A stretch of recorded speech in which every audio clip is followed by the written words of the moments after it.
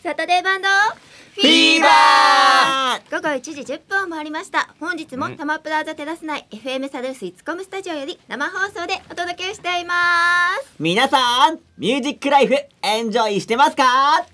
サタデーバンドフィーバーは、あなたと音楽をコネクトをテーマに、毎回素敵なアーティストをゲストにお招きして、最新のホットな音楽情報などをクスッと笑える小ネタもたまに交えながら、皆様にお届けしていく番組ですはい。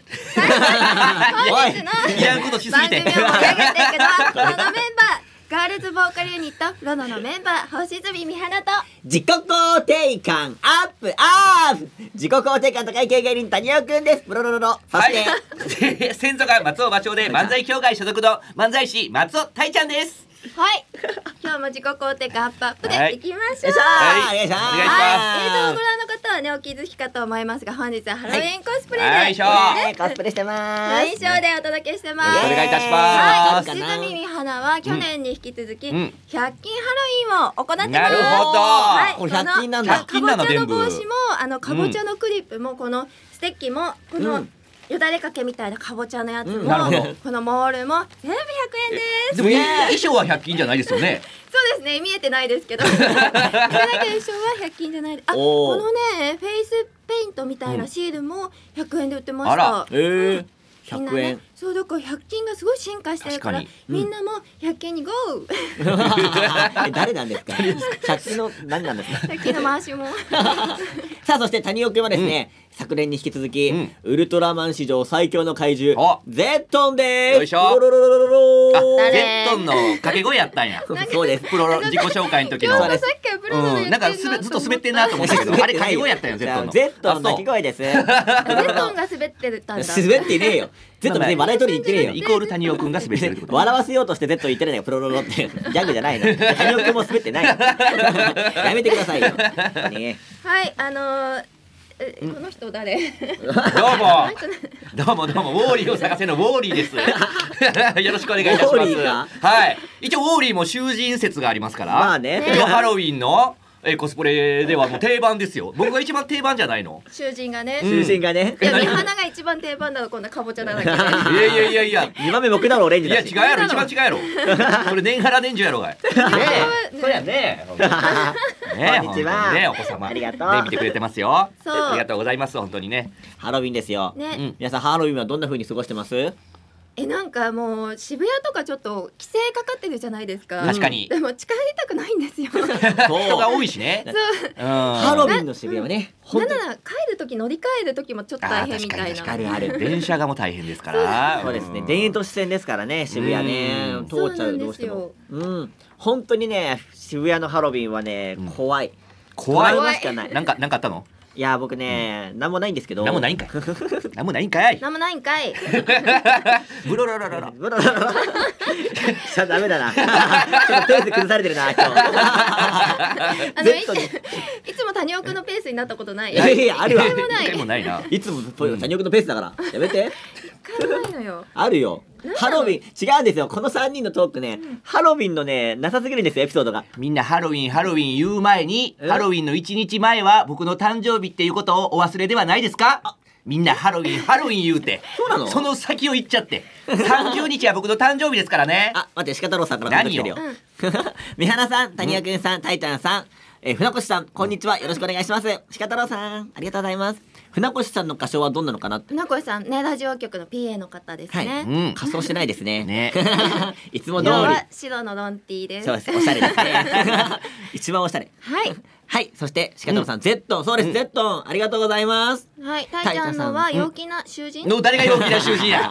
いやウォーリーやウォーリそうだ陽気な囚人。ー陽気な囚人ってやばいよそれ一番でそれ面白いの来てますよ。これ、うんはい。ハロウィンとかけまして、今流行りの VR と解く、うん。その心はそこに仮想がつきものでしょう。なるほど。おー仮想現実とね。うまいうね。衣装の仮装で、えー座布団一枚。ね。座布団一枚差し上げますそしてはい。タイタンさん、おめうん。お誕生日おめでとうございます。あありがとうございよます。ね、えーね。ハロウィンハロウィン言わずに僕の誕生日祝ってからハロウィン迎えてくださいね。皆さん。ね。よろしくお願いいたします。さんは、じゃあだからたいちゃんから座布団をもらえるってああそうですね。DM で請求してくださ、はい。い。請求お願いいたします。待ってます。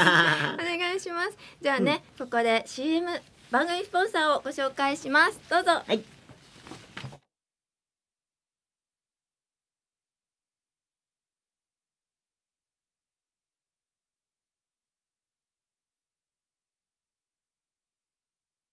はいこちらの番組はリケンジャパンさんの提供でお送りしております。ありがとうございます。ありがとうございます。はいそれではまずね、うんここから MC 陣のコーナーに行きたいと思います、はい。まず最初は星住美花のハロウィンスペシャル。今日はホラー心理ゲームをやるよー。よいしょよいしょホラー心理ゲーム。歯切れの悪いタイトル。すごいね。今日はって言われて。やるよー。やるよ やるよ。子供に言ってるみたいそうだよ。30超えてんねんけどな俺。違う画面の向こうのみんなはまだキッズかもしれないから。キートに対してね。なるほどね、うんホラーゲーム？今日はあなたの本性がわかるホラー心理テストをやっていきます。何ですか？本性？B- BGM あらもちょっとた谷岡やばいんじゃないの？の本性知ったら。そうそうちょっとやめてよ。前回僕サイコパスなのバレてんだから。やめてよ。谷岡のヤバさがね日に日にバレていく今日今日もバレるんじゃない？はい。後で三原さんのこと殴ります。よいしょ。怖いです。はい。次のうちあなたが一番怖いと感じるモンスターはどれですか？モンスター？A から D の4択です。お。A フランケンシュタインうん。お B 狼男オオカミ C 骸骨骸骨。D 吸血鬼。吸血鬼。はい一番怖いと感じるモンスターどれですか？どれだろどれですかね、はい。う怖いの。フランケン狼骸骨はい。えー吸血鬼。はい。僕はうん。D 谷尾くんは D の吸血鬼。はいはいたいちゃんさんは？僕はそうですね骸骨ですかね。はい C の骸骨たいちゃんさん。鹿太郎さんからいいうん。三花さんって来てるよ。あ出た。じゃあ。いいいいいい。あのいい。いいリハナモンスターじゃないよ。鹿太郎さん僕いいです。ちょっと間違えやすいね、うん。間違いやすいということで。はいじゃあ誰も選んでないうん。モンスター A フランケンシュタインを選んだあなたは？はい。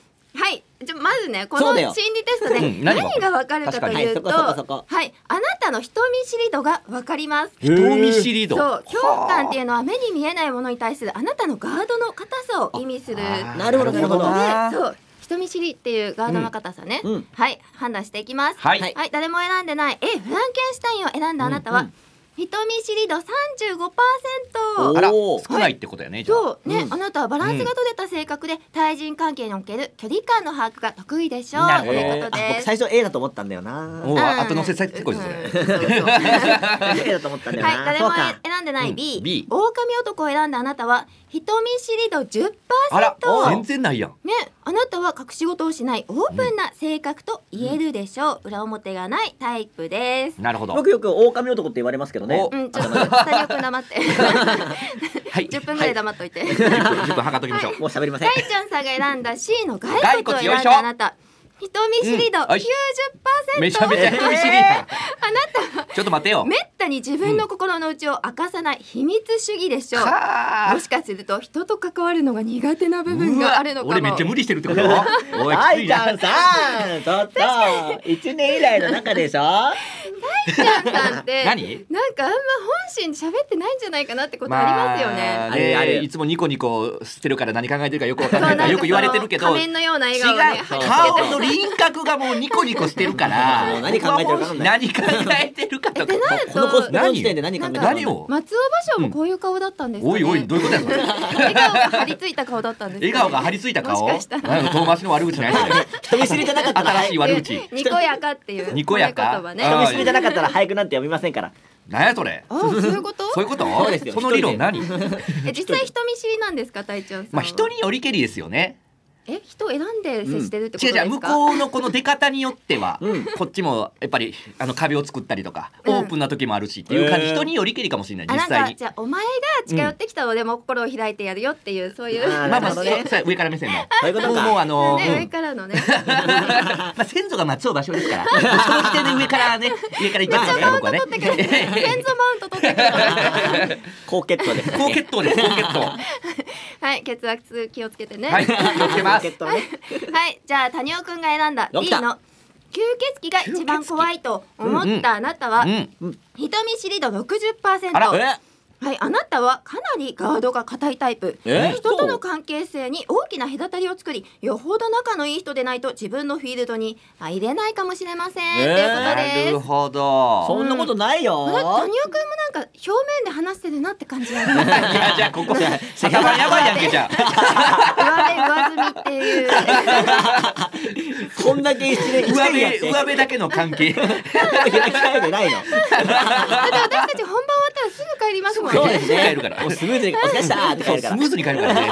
帰る時間早いから。プライベートな会話ゼロ。なるほどね。皆さんいやーねどうですか？どう当たってたかな。当たってましたか？うん。はい。うんじゃあ次の心理テストいきたいと思います。はい。はい次のうちあなたが一番怖いと思うものはどれですか？またか。A から D の4択です。またや。はい今度は和ですさっきは陽で。あなるほど。うわわ変わるのまた。種類が。はい。A 黒い髪が特徴の日本人形が怖い。ああなるほどなるほど B なるほど。暗闇に佇む白い幽霊が怖い。幽霊。C 真っ赤な天狗が怖い。D 迫力のある青鬼が怖い。はい。一番怖いの何ですか？難しい日な本人形幽霊天狗青鬼僕はもう完全に B かな、あ B B の白い幽霊はい。僕は、えー、青鬼ですね。青鬼でいきましょう。青に迷いましたね、青鬼絶対怖いっしょ。絶対怖いでしょ。命の危険があるからね青鬼は。うん。殺される可能性あるから。ゲームにもあるからね青鬼ってね、逃げるやつね。そうそう。逃げるやつ。逃げるやつ怖いからね。怖いからね。ホラーゲームでありますね。そうそうそう。はい。この心理テストでは何がわかるかというと、うん。あなたの人生の課題が分かっちゃいます。えー？そんなん分かっちゃうの、教えて教えて。教えてほしいわ逆に本当に、はい、あなたが無意識に怖いと感じるものは、あなたの中の課題を表している一面もあります。何はい、じゃあまずね誰も選んでない。A 黒い髪が特徴の日本人形を選んだあなたはね。じっくり腰を据えて取り組むことが課題です、うーん、はい、るほど。なたすぐに結果を求めすぎてませんか、うんもしくはね、あの目に見える成果が出ないからといってあっさり諦めたりしてませんか、うん。目標が高け高ければ高いほど時間がかかるものだからもうちょっとねあのじ腰を据えてたくさんね挑戦してみたらいいかもしれません。ということです。えー。なるほどな。なるほどな。はい。C の真っ赤な天狗を選んだあなたの課題はえ自分を磨くことです。お周囲がねせっかくあなたを褒めてくれても信用できずにただのお世辞じゃないかって感じてませんか？寂しい。はい、うん。またね自信が持てなかったりするからあの自分を磨いて人から褒められる言葉もね素直に受け取ってさらにね自分を磨いていったらいいんじゃないかって言ってます。ね。誰が？言ってます？言ってます。天狗を選んだあなた自己肯定感アップアップよーしじゃあ行こう。よーし次行こデッキやめろ。おい。顔隠すな。映像から。次ね。はい。たいちゃんさんが選んだ D の、えー、迫力のある青鬼を選んだ番あなたは必要以上に抱え込まないことが課題でうあーす当た当たってる当たってるうん。当たってるわ。気の毒だと思って、うんうん。他人の苦しみまで引き受けて引き受けてしまう傾向あー当たってる当たってるもあります、うん当たってるわ。はい、もしそうなったらねあなたが苦しむだけじゃなく、ん。周りもねあなたにどんどん甘えてしまってなるほど。もう負の連鎖が起きてしまいます。なるほど。あーまあ優しいからな俺基うん。本そういうことね。間違った優しさかもしれない。うん間違え間違え正しい優しさ時にはねもう手を出さずに見守る態度も大事、なるほどな。あの優しさにねプラス厳しさも加えられたらちょっともっと素敵な方になれるんじゃないかっていう。俺厳しく言えないからうん。な優しくなっちゃうから言なえ誰が言ってんねん 人見知りだもんね。そうそう。言えないよそりゃ。90%だから。はい次タニーが選んだ。谷。え急に？暗そんな闇に佇む白い幽霊を選んだあなたの課題はこだわりや思い込みを捨てること。お。おもう一つのことに集中し信念を貫き通せるあなた、うん。ただね一旦こうって思ったらその考えを変えることはかなり難しいでしょう。だからね間違った方向に進んでしまうとなかなか軌道修正ができなかったりするからもっとね周りの人の意見に耳を貸してみて、うん。あのそっちの意見の方がいいなって思ったら、あのちょっと軌道修正するね勇気も大事ってことです。い。や確かにね。二、人から何言われても変えようと思わないもんね。谷尾くん。全然サイコパスでいこうと思うもんね。ねいやそそれはいいんや。サイコパスはいいんや。サイコパスは治らないからしょうがない。性格の問題だからね。諦めですね諦め はい当。たってるなそんな感じでね、あの聞いてる皆さんは当たってたでしょうか？鹿太郎さんもぜひね挑戦してみてくだ瀬 さい。どっちもいいを選んでますからね 宮野さん宮ん野さん 二個目もねいいでしたね。ねいい三花さんでしたね。課題はあの人を見る目を養うことです三花モンスターじゃないよ。はい。以上星住三花のホラー心理テストでした。イエイ。よよいしょ。よいしょ。いしょ。ー。さあ続いてのコーナーに行きたいと思います、はい。松尾太ちゃんの世界のハロウィンを白のコーナー。よいしょ。ーということでね。まあ日本ではお正月やクリスマス同様に、うん。今や定着しているお祭りのハロウィン、はいね。その年の流行りや流行りが仮装に大きく影響されるので毎年注目されてますよね。そうですね、えー例えば2017年えーハロウィンでは2017年ハロウィンでは大阪の道頓堀で、えーその時ブレイク中だったサンシャイン池崎さんのコスプレしてる大学生30名が、えーずっとイエーイという規制を発して 事件になったぐらい、えー社会現象になっております。怖い怖い怖い。の池崎。そう。ドンキーでその衣装がなくなったという。えサンシャイン池崎の。ー、なんだそのアホな事件、そうあったんですよ実際にね。ええどどの点が事件なんですかねそれ？もうずっと規制をイエーイってみんなであうるさいっていう事件。そうそううるさいっていう事件。警察が出動するという事件が起きなって、えー。僕もたまたま近くに行ったんですけど、うん。もうその日は本当にその年はもうサンシャイン池崎祭りでしたね。ハロウィンっていうよりみんなその仮装されてたんで、はい。だから池崎さんも30人いると警察呼ばれちゃ呼ばれますうっていうことなんですね。い。からね。えーだからそんな本来の意味を失いつつある日本のハロウィンですが、はいうん。ここで世界のハロウィンは何をしているのか学んでいきたいと思い知ます。りたい知りたい、ね。えじゃあまずアイルランドからいきましょうか。アイルランド、実はアイルランドはハロウィン発祥の国なんですよね。ご存知でしたか？そうなんですね。そうなんです。存じ上げてないです。で、そのアイルランドの、えーハロウィンは何をしてるかと言いますと、うん。収穫した木の実を叩きつけるなどのちょっとよくわからない伝統のお祭りがあります。はい。いや怖い。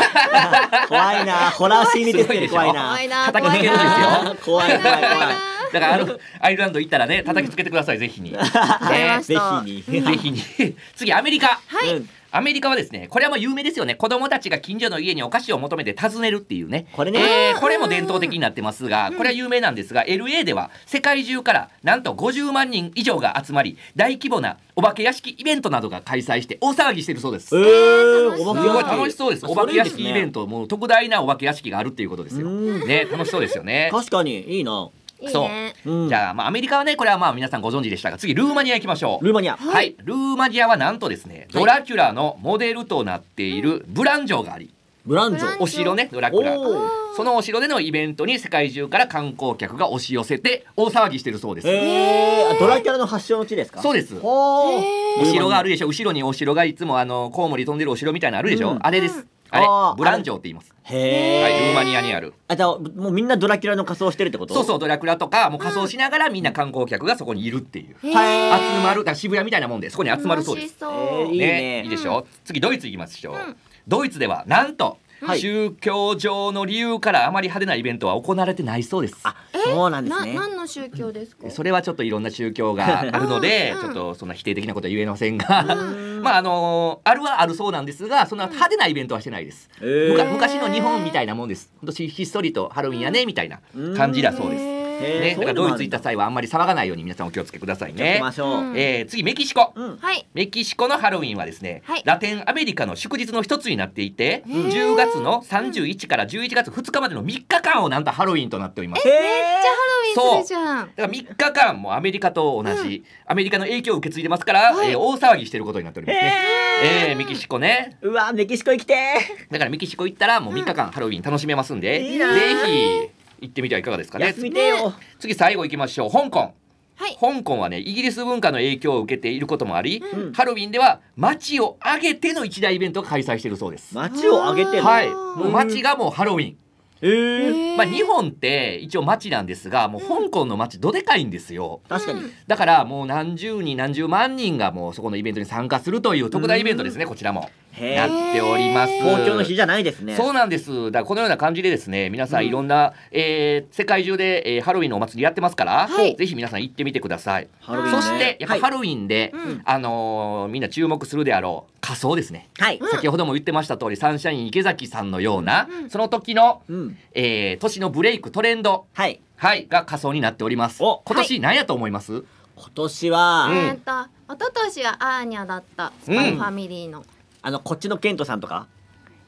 ギリギリダンスギリギリダンスあなるほど。菅田将暉さんの弟さんなるほど。今年はねなんと、うんアーニャも入ってるんですよ。まだ引き続きアーニャ大人気。はい今年のおすすめはですね、はい。えー、早々のフリーレンっていうアニメがあるそうで皆さんご僕ちょっと知らなかったんですがそれ風のコスプレが流行るという、えー研究結果になっておりますね。水。色のツインテールの妖精さんね。そうそうそうそう。なるほどなるほど。あとまだ根強い呪術廻戦、呪術廻戦の釘崎野原さんだとか、はい。はい、あと推しの子、うんうん。星野愛さんとか、うん。これね星野愛さん。そう。で、うんあと、うん。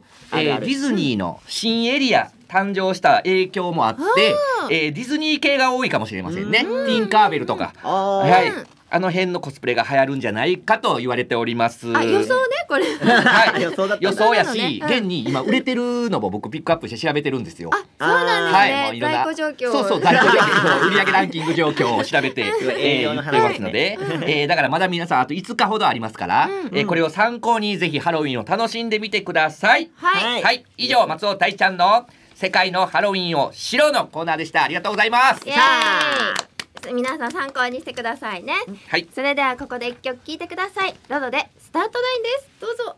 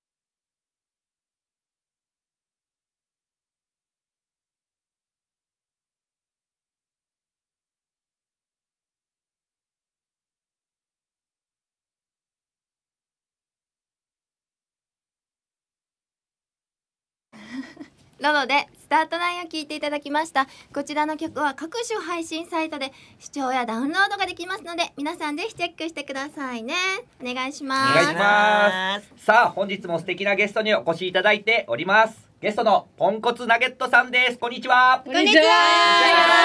よろしくお願いします。す。いや、お久しぶりですね。お久しぶりです。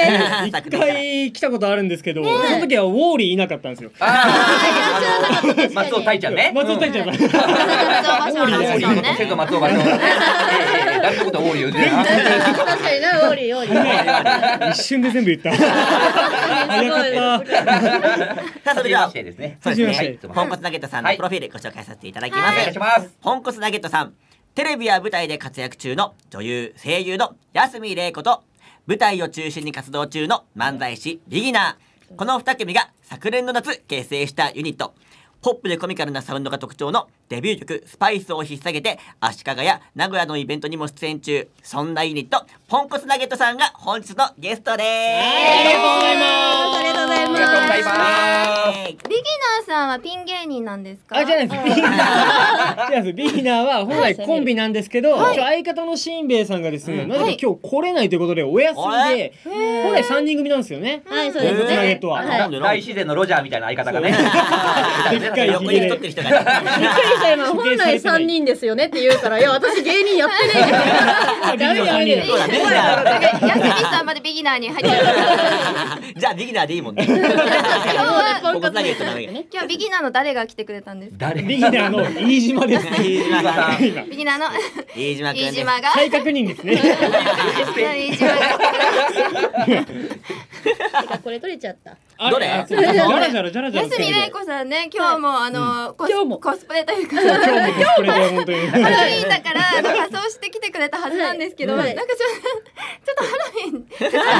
あのですねやっぱり皆さんハロウィンって言ったら何のコスプレするっていうお話をすると思うんですけど、はい。違う違う違う。ハロウィンはねもうねザコスプレだからもう何のコスプレとかじゃないのもうねコスプレだから。盛り合い。そうそう盛り上がりそう。盛り上と思いまして。アメリカの国旗みたいな帽子をなんかベルみたいな。ベルを体中につけて、そう先取りのクリス一応ねマスみたいな。肩にあのかぼちゃ乗ってますけど、はい、なけなしあとサングラスもありますね。ハートンサングラスとね、はい。もうちょっと、ね。あのテーマもよくわかんない。CM 中にもおっしゃってましたけどあすいません戸惑ってます。はい、ポンコツナゲットのポンコツの部分になってますんで。じゃあこれもナゲットなんです10月伝わって。なるほど。なるほど。ちょっとねあの声だけでお楽しみの方はね想像してみてくださいね。い。はい。であの飯島は？はい。呼び捨てだ。ね近くて。いや一と回ねご一緒したことあるんですよね、なんか他のクルーザーのイベントとか去年とかね。そうでその際もやっぱお食事させていただいたことあるんで、はい。隣同士でね。あ三花と飯島がはい。三花と飯一島で。回それで呼び捨てなんの？だいぶイチャついて。あそっち系やった。そう違う違う。全然そうじゃないから。なるほどなるほど。鹿太郎さんからも来てますよコメント。やすみさん飯島さんよろしくお願いします。はいよろしくお願いします。よろしくお願いします。お願いいたしますありがとうございます。ありがとうございますよろしくお願いします。さあそれではここでねゲストのポンコツナゲットさんの曲をご紹介したいと思います、はじゃあ曲紹介の方お願いいたします。はい。ではお聞きください。ポンコツナゲットでスパイスです。どうぞ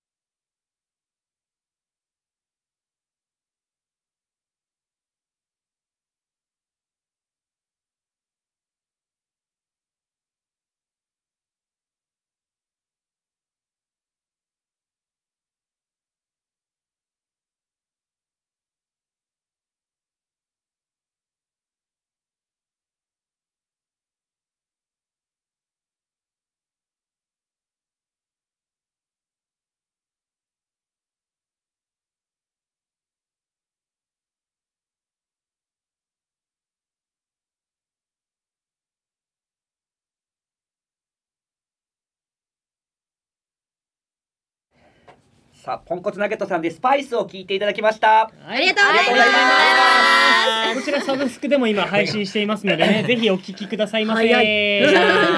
いい曲はいすごいいいなんか曲ですね。耳に残りますね。キャッチーでね。すごい自分で自画自賛自あ画自賛がすごい。絶妙な曲です ちょうどいい言葉。絶妙な曲ですよ。ね。絶妙な曲って何す手拍子とかもあってね皆さんと一緒に楽しめる曲にもなってますのでぜひ覚えてください。ライブではあの歌い始める前に練習するんですか？ここあ、でそうですね。なんか意外とパンパンパパパンパパパンパン。なんか特殊なんですよねこれが。そうそうそうパンパンパパパパンパパンパパン。ああ完璧です。むずいでもむずいよこれ。これをちょっとお客さんにもね、曲中にやってほしいんで、まあ曲前やる前に皆さんと一緒に息を合わせるっていう感じで練習はしますね。うん。なるほ大事ですよね。大事ですわからなかったらもうずっと叩いとってくださいね。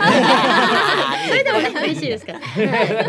確かになんかこうリアクションもらえると嬉しいですね。そうですね。ライブで谷岡もネタの時毎回アップアップですよ皆さん。アップアップ。ですやりながらもう言ってますから。無理やりねじ込んでこないで。いやこんなことはいいでしょ別に。同じ。よしじゃあ質問コーナー行こう。はい。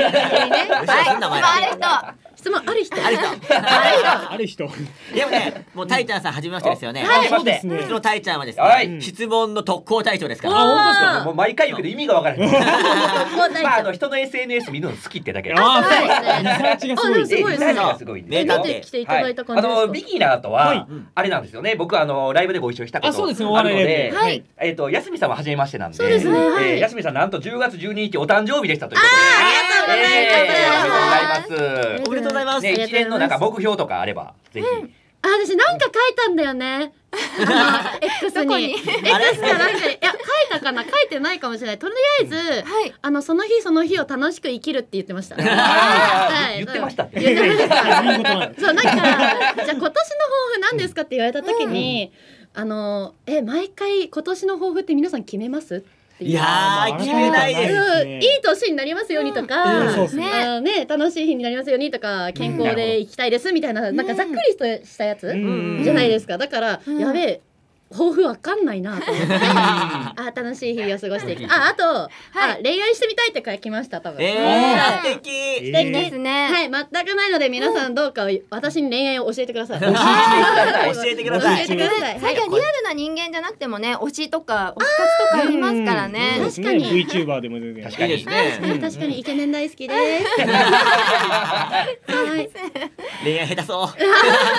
君大好きっていう人い人おれへんやろあのパン加えてカードぶつぶつかってね。やりたいですね。はい。もうないだろそんなに。あ 今だったら損害賠償払わなきゃいけないあー確かに。パンのね。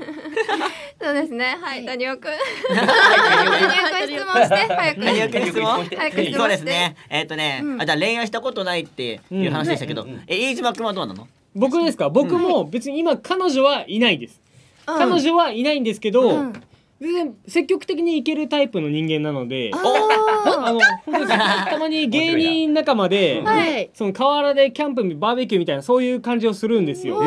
でそうすると不特定多数のまあ女の子が面白そうなことやってるねで合流してきて、その日のうちに連絡先交換できちゃうんで、えでそこから次の日二人きりで遊び行ったりとかもできるぐらいの僕は積極的な人間なんで恋愛は全然謳歌してます。待ってえ？ババーベキューをしてたら女がわらわらこう河原に集まってくる。なんか来ますね。どういうあれ？男は普通に来ますよね。後輩にお願いして誘ってるんちゃうの？それあれの力や。え仕込みじゃなくて？仕込みじゃないえ僕はやっぱわらわら人生でそんなこと一度もないんだけど。わらわら聞いたことないよ。そんな全然全然なんか昔からなんか年上の女性とか、はい。まあ同年代の女性に可愛がられやすいんですよ僕。なるほどうねん。だからそういった星の下で星のもと生まれたので 精一杯謳歌しようかなと思って。生きてますよ。もうちょいちょい鼻につくな。ね飯島の自信がすごい。すごい自信が生まれ持った顔はもうフルに活用しようかな。なんかもううわんって。あ一番信じなっちゃうれないよこの空間の中で。一緒に活動してますけど。こんな質問しなきゃよかった。全員がげんなりしてんうん。なんなら一回も私遊びに誘われてないですから。あー逆にねいやこっちも。誘われてないんだけどバーベキューうんいやもうなんで俺もバーベキュー俺もいや谷岡はいらないだろうあわらわら来るよわらわらいいじゃん火力アップ。お前がやれよって話や何の役にも立たないいっぱい来ますそろそろ肉もアップアップおっとうるさいねよしじゃあ次の質問いこうかなはいえ私聞きたいあいいいいはいですねなんかポンコツナゲットさんってなんかこう仲がうん三人の仲が深まったエピソードと逆にギスギスしたエピソードとかってありますか？だいぶ攻めて出てますね。ねなんかもう身内みたいな感じだからいいかなまあって。仲良くなったエピソードで言ったら、同じ放送局で川崎っていうところではい。ラジオ番組をうん。ビギナーと安見さん別々でやってたんですよ。はい。はい。別々ででまあプロデューサーは一緒だったんで、そのつながりでできたユニットっていうこともあって、はい。まあ、会う機会が結構多くなったから、まあこのユニットきっかけで、まあ、ラジオ局、ラジオつながりでもう相まって仲良くなりましたね。うん。同じ場所でやってるっていうのはやっぱでかかったですね。そうですね。逆にギスギスしたっていうといや私結構きつかったのがおあらだぞいっちゃえいっちゃえあいけいけあります？そんな。はい。あの一回先ほどご紹介してくださったように、はい。名古屋に遠征行ったことがあるんですよ、はいはい。ライブのためにね、うん。その時にあのーまあしんべヱさんがね、あのうん。運転してくださったんですけど。あのしんべヱさんの車だからしんべヱさんの好きな曲が流れるじゃないですか。はいはいははいいであの人ってこれわかまあゆあの公表していいのかな？あの、ん女児向け好きじゃないですか？あ、全然いいです女児向けアニメ。女児向けアニメが女子が好きじゃない。女子向けアニメ。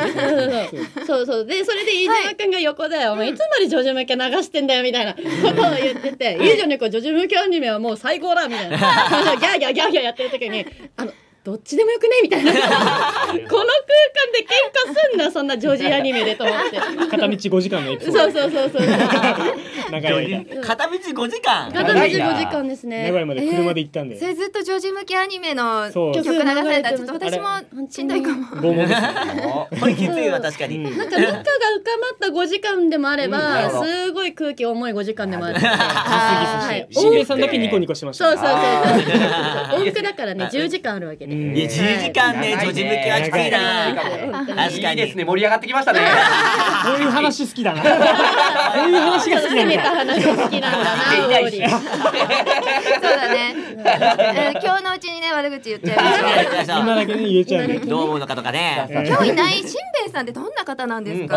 おあそうですね。知らない方でいうと、まあ、外見的特徴は、はい。先ほど松尾大ちゃんさんも言った通りに、ロジャーみたいなヒゲの量なんですよね。外見がロジャーで結構でかい体ふくよかしてて、はい。で髪型が両サイド坊主の中央結んであるなん結い目のあるモヒカン。ポニーテールモヒカンってなかなか難しいですイメージ難しいね中国人のマフィアみたいな。そうそうそう。あー、なるほど。わかりやすい。日本では珍しいからで漫才衣装が黒のスーツなんでうん。肩着には見えないです、見えない。確かに。全く見えないね。でも女児系な女児向けのアニメが好きとか、はい。そういうオタク気質があるんではい。うん。喋、れば喋るほど可愛い人間そうでですすね。ねパッと見怖いけどうん。喋れば可愛いっていうギャップのあるそういう方ですね、あそうなんですね。確かにねじゃあうんしんべヱさんのうんいいところとちょっと直してほしいなってせっかくならいうところ。そうですね確かにね本人の前で言えないね、うんね、そうだね。うんいいところは安見さんの目線でありますあ、待って。いいところそんな難問私私今直してほしいところばっか出てた。あららはいじゃあ探して先そっちから探して頑張って頑張って。あ直してほしいところ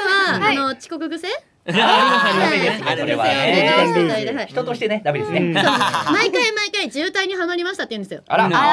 毎回ですか？毎回毎回。みんなハマっちゃうんだ。そうなんですよ。だったらまだおばあちゃん助けてたからさ、マシな嘘ないのかな。面白いね。そう面白いそう確かに。逆にね、いいところは、まあ、絡みやすいっていうところですかね。外見はあのヒゲだるまなんで、あのもじゃだるまだから、ちょっとあの、生きにくいんですけど、やっぱりね、なんか喋り出すと、そうなんですよ、しんべヱはうんとかなんとかなんですよとか言って、なんか話しやすい。そうそうそうそう。自分語りがね、たまに長くてめんどくさい時なんですよ。はいいいとこじゃなかったへんうんコミュニケーション能力はありますね、あの方は。なるほどなるほど。はいじゃあ飯島さんからありますか？僕はやっぱ相方目線も混じるんですけど、やっぱいいところで言うと。うん。やっぱ個性が強くてコミュニケーション能力高いので、はい。芸人がどんだけ言おうと、うん。割って入っていけるっていうその個人の強さはありますね。確かにね。確かに。自己アピールはもうおのずとやってくれるので、うん。で直してほしいところで言ったら、はい。もう良くも悪くもどっしりしてるんですよ。動かないっていうか、だからこうしてああしてって直してって言っても、はい。次やったら直ってないことあるんで、うん。あー良くも悪くも変わらないっていうところがちょっと、確そうですねかにね直してほしいところですね。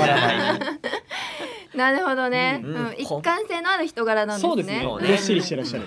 コミュ力がめちゃくちゃ高いもんねコミュ力高いですね。そうなんですね。助かります。うん。あとしんべヱさんの NG ちょ今日聞いてないからあの言っていいかわかんないんですけど、はい。なんか女性ものの下着に詳しい。えそうですやばないですかめちゃめちゃ詳しいですね。ですよ事件性がありますよ。女子向けのアニメにも詳しいし女性向けの下着にも詳しい方っていう。そうなんですよ、芸人やる前からはい。下着のはい。メーカーの仕事に携わっていた。なるほど。そういうことですか？そう。いう怖い怖い怖い。俺もう間違えたことやってるかと思って本当にねだから最ダッ初シュしてるじゃないってそうそう仲良くなってないのに俺下着詳しいって言われてやいやいや。あのあの顔じゃない確ですか。あの顔で女児向け好きいでや本当ね。俺下着とあれですよみたいな詳しいですよみたいな。ブラジャーはみたいな。え？みたいな。ニュースですよね。やってないと思う。すごいな。だいぶ個性強い。強すぎたあそういうところにお勤めしてたってことね。制作者側でおの勤めっていうとまたなんかまたね。もう言葉難しいやお勤めは NG です。ねでちょっとしんべヱさんについて深掘りしちゃったんですけど。ありがたいですね。新米会になっナゲット全体のなんかいいところとかアピールポイントってあるんですか？やっぱ3人それぞれ三者三様でキャラ違うので、うん。その3人が一緒に歌っているという、うん。わちゃわちゃ感が曲を聴きながら伝わると思うので、そこが一番の魅力ですかね、確かにね。もうね普通にだって普通にわちゃわちゃしてるもんね。歌ってる時以外もさ、うんなんか車の中もうるせえってねプロデューサーにちょっと言われた、お前らずっと喋ってんなみたいな。言われたりします。賑やかですえね、ー仲がいいあとね。やっぱり夏祭りのゲストで行かせていただいたんで「わああそこにチョコバナナある!」とか言って「仮面ある!」っつって一緒に仮面買ったりとかしました、えー仲いいね。はい。え我々三人とは打って変わってですね。あれ？えあどういうそっとですか？聞きてえな。あれ？あれ？あああれ？ねお時間が迫ってお時間あが迫ってくるはい。ごめんなさいもうやめましょう以上ポンコツナゲットさんへの質問コーナーでした。はいありがとうございましたはい、ポンコツナゲットさんここまでお付き合いいただきありがとうございます。がとうございましたますそれでは告知などあったらご紹介お願いします。はいはい、ドドン。あこちらですね。えっ、と11月6日に私たちスパイスナゲットじゃないね。ポンコツナゲット。スパイスナゲットはい、になっちゃった。美はい、ポンコツナゲットがですね、浅草で、あ、ありがとうございます。ありがとうございますライブをさせていただきます。えー、名前浅草スーパーライブで会場浅草クリームライブというところです。クリームライブえー会場11時、開演11時半で、えーこちらチケット代が3000円となってます。うん詳しいことは私たちの X、おのおのおのおのの X を見ていただければと思います。はいよろしくお願いしよろしくお願いしますさあここからは番組のインフォメーションです当番組では皆様からの質問や感想を受け付けております。いただいたメッセージや質問は番組内でご紹介させていただきます。FM サルースホームページの番組メールフォームサタバンチーム C の公式 X のリプや DM そして生放送中に受け付けている YouTube ライブ配信でのコメントもどしどしお待ちしております。はい。本日のサタデーバンドフィーバーはここまで。来週のパーソナリティは柳田健一藤宮氏の必ずでお送りいたします。はい、まあちょっと時間あるのでもうちょっとお話聞きたいんですけども、はい。はい。なんかありますか？聞きたいんですけれど。もざっくり。やな。しずみさんやっぱ改めて会うと可愛らしいですね、あなんかありがとうございます。上下に揺れる女の子ってなかなか珍しいじゃないですか。あなるほど。最近いないねそう上下に揺なんですけれる子。どっていう人はい本番だけああれいいあれ今だけプライベートは上下に揺れないあれね入れないピシッとしてるやったね、次からやったるわ。芽生えたるわ。やすみさんが揺れ始める。ちょっと騒がしいですね。安見さんの前。そうやすみさんを検索するときはなんて検索したらいいんですか？あ、8つの角を曲がったら麗しい子にぶつかったと書いて安見玲子というすどこ取ったんですか？出てくる。八角麗しい子と書いて安見玲子と申します。はい8つのコーナーですね。はい、皆さん曲がったら私にぶつかるかもしれないんでです。これを聞きたかった。ありがとうございます。ビギナーさんはなんて調べればいいんですか？えっとご飯のある島って調べれば飯島が出てきます。飯島だけでしらたどり着かん。飯島だけじゃ出てこない。いっぱい出てくる全国の。あとはしんべヱさんはもう本当ひらがなのしんべヱですね。はい。忍たま乱太郎のしんべヱと同じような感じでしんべヱって調べれば出てきますので、はい、それでおのおの出てきます。カタカナでビギナー、シンベ、ビギナー、飯島で調べたらいいですね。はい皆さんチェックしてください。見てください。はい、本日はポンコツナゲットのお二人をお迎えしてお送りしてきました。ありがとうございます。皆さんまた来週。バイバイ。バイバイ。ハッピーハロウィーン。